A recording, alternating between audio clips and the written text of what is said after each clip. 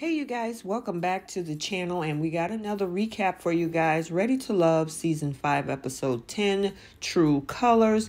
And there were two couples that had somewhat of a connection sent home. So we got to unpack all of the drama that happened in this episode. But before we do this, if you are new here, hit that subscribe button, turn on your notifications. If you like the video, smash the like button, and also feel free to drop a comment down in the comment section below. So we're not going to waste any more time with this preliminaries. Let's go ahead and jump into this video. So, between eliminations and people feeling the need to uh, remove themselves from this process, in this episode, we had to get ready to say goodbye to multiple cast members. So, as of right now, uh, we see with Walter and Sabrina look like they can make it to the end, but whether or not they go the distance beyond the show is still up in the air. Now, Sabrina, being a dancer for 10 years, is still kind of getting up under his skin. And while, you know, she explains it was due to what she was going through at 18 after being bullied and stuff going on at home, you can still kind of tell that he is still feeling a little bit off about it. And, you know, Sabrina definitely acknowledges it.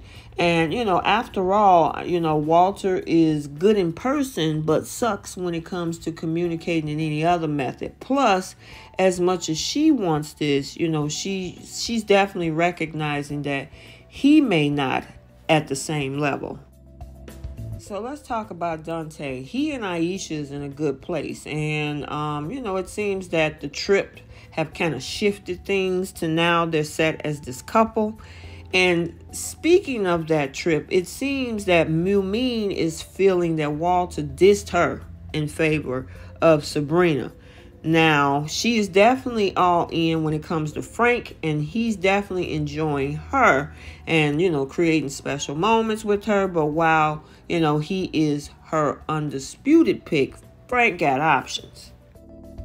Now, speaking of options, the man who formerly had the most finds himself now dealing with just Shiloh and Sydney. Now, with Shiloh, there is no competition as she has come to a part in this process where she is willing to lock it down. But first, Phil is kind of swaying a bit. Now, but with Sydney, he does open up about his mom and presents to her the kind of vulnerability which makes it clear that Phil is, Phil is definitely nowhere near a decision, especially since Shiloh challenges him emotionally in ways that seem to not lend his person to naturally open up. Also, I just want to take a minute and talk about Sydney for a little bit because I know I've been seeing the crazy assumptions in regards to whether Sydney was, I guess, born a woman versus her being a man. Um, people, she is 110% woman. And I want to send a shout out to one of the young ladies in the Facebook groups who posted, and this wasn't because you know uh, Sydney heard what people were saying about her.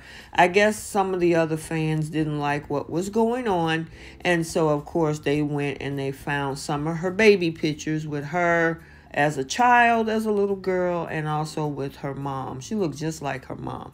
But folks, we got to stop this. I mean, really. I mean, we don't know these people, you know, and to assume that this woman was a man because Maybe she moves differently or she talks differently or maybe she look different than what your expectation is. Doesn't necessarily mean that your expectations or what you think of someone is who they actually are. So I just want to bring that up because that happens a lot when we do these re- reality TV show recaps is that some folks have some things, and over here we are objective. You know, we want to keep things as um, Denise said from season three, keeping it cute. So, you know, I just want to mention that. And I know some people was really apologizing on that thread because they was like, oh my God, I thought she was a man. That was horrible for me to think that way. Absolutely. You don't know this person. So I just wanted to put that there and clear that up because I know that's been swarming around. So she is definitely, you know, uh, a beautiful woman. So. Okay, so moving on, let's talk about these eliminations. So, spilling over from the previous episode, there was an elimination by the women where Cornelius is the one that was eliminated. And so, with that being said, Camille goes right with him since she has zero interest in any of the guys, and uh, the feeling is mutual. So they are officially gone. I know some people wasn't happy about that particular couple, but you guys, did you see what they posted on IG? And you know I got to share that stuff with you. Um, right after the episode aired and they knew they were going to be eliminated. Those pictures was hot, but we'll definitely see what happens with these two at the reunion. So I'm looking forward to that. And then there was the elimination in this episode where Zadia is eliminated due to lacking connections. And she put her hands on Dante due to her feeling uh, quote unquote mishandled when it comes to learning about him and Aisha. And let's talk about that for a minute. Um, and I will say that it's it wasn't a good look. Um, and the fact that they actually recorded that and let that happen was one thing because if the roles were reversed, I think everybody would have been up in arms. So, you know, me, I, I see both sides. If, you know, it's not a good thing if he put lay hands on her, definitely. It's also definite that you, as a woman, shouldn't be putting hands on a man either. And even if it's just tapping him in his nose, you don't touch, you don't put your hands on nobody. Now, I will say that there was a live. I posted it on my channel last night, so go check it out. But Zadia did say she did come back and she did alter the utmost apologies and regret and what she had to say. And she talks about it in this live that she did alongside Shiloh and also with Camille. But um, go over there and check that out because she did have some things to say in regards to that. Um, again, I posted that video on my channel last night because obviously, since they're now eliminated, they wanted to get out and get a chance to talk live with the fans. So I'm glad that she did take the necessary steps, of course, to do what she needed to do um, to, you know, make amends, apologize for what, you know, that altercation was because she had walked away. And then she came all the way back.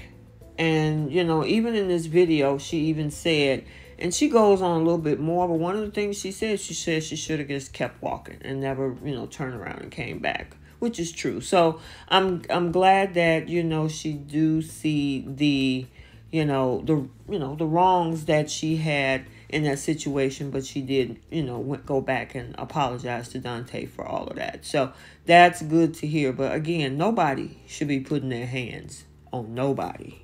Now, following her out the door, since they also have no other connections, is Naeem. And he decided to have a sit down with Tommy about self eliminating. And he decides that it's, you know, for the best.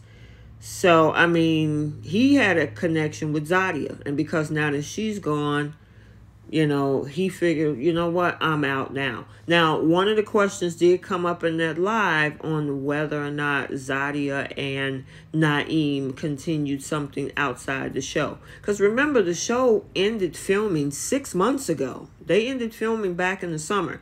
So a lot of things obviously has happened.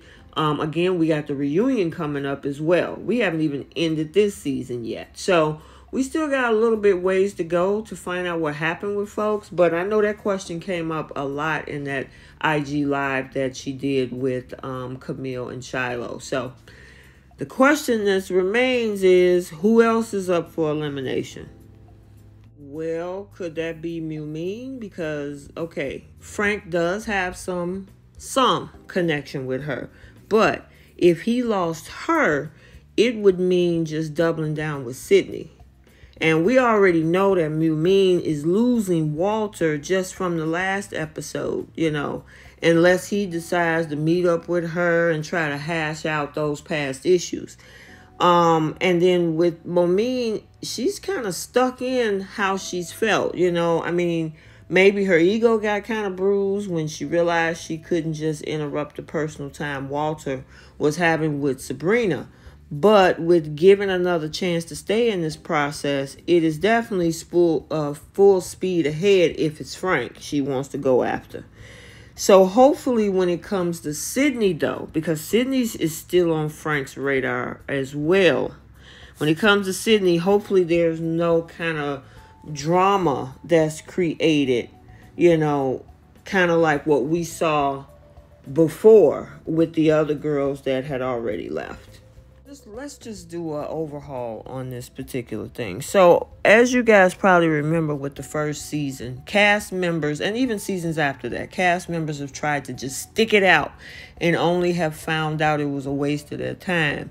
So it's definitely very interesting, and I would say good to say, you know, good to see people like Camille and Naeem eliminate themselves because, you know, it reminds you that while this is a dating show or competition, the only prize is truly potentially finding true love, or supposedly. So this makes it so that there's no reason to pursue or step up when you learn that you don't have any options left. And what I would hope for in the future seasons that you know more can realize that they can leave on their own terms rather than wait to be pushed out. And if not, it's shown by Zadia be so affected by the process that it make you kind of get out of character. Now, let's talk about the behaviors. Now, dating in itself is an emotional experience, and because of that, you know, people make mistakes. Now, some people say the wrong things, but others do the wrong things. And of course, unfortunately for Zadia, that all was caught on camera. Now, we do have to acknowledge that, you know, as shown in the past, being caught off guard during deliberations and knowing a camera is on you can, you know, this show can seriously kind of mess with people's minds. So, you know, of course, there's no excuses there.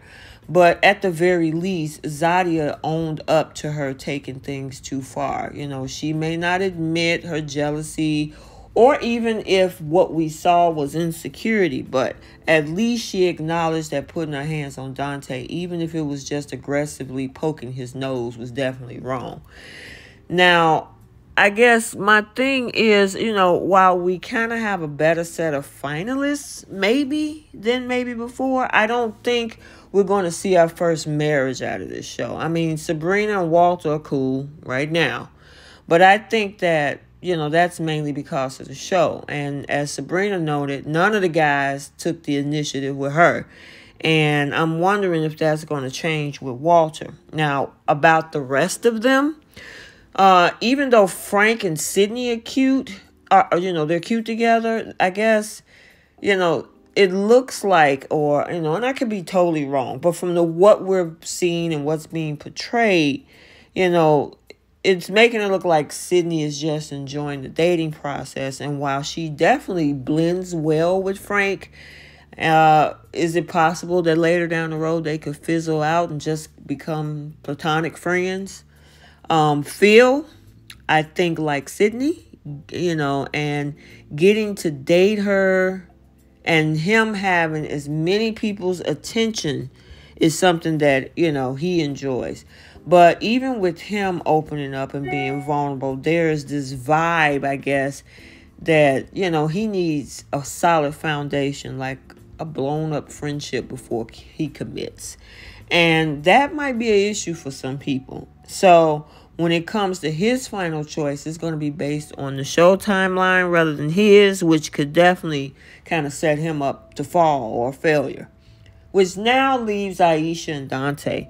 Now, honestly, they are so new that, you know, we don't know as fans what to even feel about that. Now, most of their relationship has existed on phone calls off camera, which I guess could have been a, a huge benefit for them because you know the world didn't really get to see you know everything that they talked about. Now there's nothing no pressure for them to perform so maybe they have the most natural relationship of them all. And you know it's hard to say so you know we can't say that they are the end game or not but they might be the most stable since neither have notable options besides each other. And I mean, like Sabrina, Aisha isn't about having any more kids.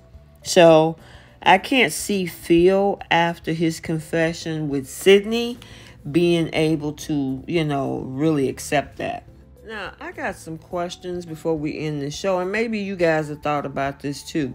When it came to Zadia, why didn't somebody that she had a connection with eliminate her? Because it's interesting how they have these random people take them on this date, and these people thinking they're going on a new date with somebody when it's only an elimination process. Shouldn't it have been somebody she had a connection with to handle that elimination? And then um, the other thing is at the reunion special, I want to know if Camille and Cornelius are still together in any capacity. And I did show earlier they did a little video shoot together. So I don't know. We'll see. They released those pictures yesterday. Today is Sunday. Uh, on Friday after the show aired. And, you know, with so many uh, eliminations in this particular e- episode and things swimming, swinging, you know, back to the women, will the bottom two be Walter and Dante? They only have one connection compared to Phil, who has Sydney, Shiloh, and maybe still Aisha.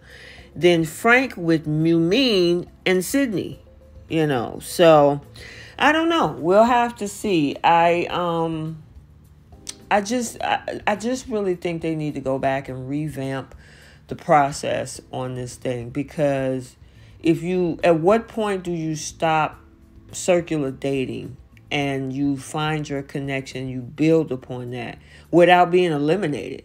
Because if you lock down in one couple but because other people who has a judge scenario where they get to choose who's eliminated. And if they don't have a connection with you because you're off in a coupling, why eliminate that person if they made a couple with somebody else and they've taken themselves out the market? And it's not like it's the beginning of the season. We're getting toward the end of the season. You shouldn't have all these multiple connections. Somebody needs to be making up their mind and it shouldn't be at the end. So I mean, that's just my thoughts. Let me know your thoughts. Sign off in the comments. Thank you again for watching the videos and supporting the channel.